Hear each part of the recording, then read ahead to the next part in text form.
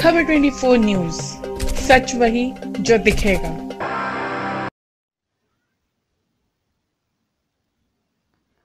चोरों ने एटीएम तोड़कर पैसा निकालने का किया प्रयास। एटीएम को तोड़कर पूरी तरह से किया क्षतिग्रस्त। सहरसा में बेखौफ अज्ञात चोरों ने एटीएम मशीन को बनाया निशाना। एटीएम तोड़कर उसमें रखे रुपए चुराने का किया प्रयास। घटना सदर थाना क्षेत्र के पूरा बाज़ार कॉलेज गेट मुख्य रोड स्थित पेटीएम के एटीएम मशीन की है। चोरों ने एटीएम मशीन को तोड़कर पूरी तरह क्षतिग्रस्त कर दिया है। बताया जाता है कि देर रात अज्ञात चोरों द्वारा एटीएम मशीन तोड़कर रुपए चुराने की कोशिश की गई। सुबह जब लोगों की नज़र टूटे हुए एटीएम मशीन पर पड़ी तो इसकी जानकारी स्थानीय थाना को दी गई, जिसके बाद पुलिस मामले की छानबीन में जुट गई है। लेकिन जिस तरह से बेखौफ चोरों ने शहर के मुख्य रोड स्थित एटीएम मशीन को निशाना बनाया है, इस घटना से चोरों द्वारा पुलिस के लिए खुलेआम चुनौती देने से इनकार नहीं किया जा सकता है।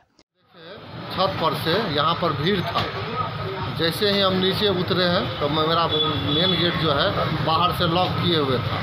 तो आवाज़ दिए एक मेस्तर को स्वीपर जो था गोपाल नाम है उसका। तब वह जब दरवाज़ा खोला है, तब तो दरवाज़ा बाहर आके देखते हैं कि एटीएम जो है, यहाँ टूटा पड़ा तो सब कहा कि यहाँ चोरी हुआ है। अब बारिश का, जिस समय बारिश हो रही थी, उस समय पुलिस सूचना दी है? हाँ? पुलिस को सूचना। हाँ पुलिस को सूचना दे दी है।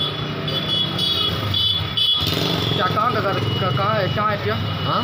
कौन एटीएम है ये एटीएम टू पेटीएम है। पूरा बाज़ार? हाँ पूरा बाज़ार। क्या नाम आपका? मेरा नाम हुआ राजीव सिंह। आप कौन है? सहरसा सामन कुमार की रिपोर्ट।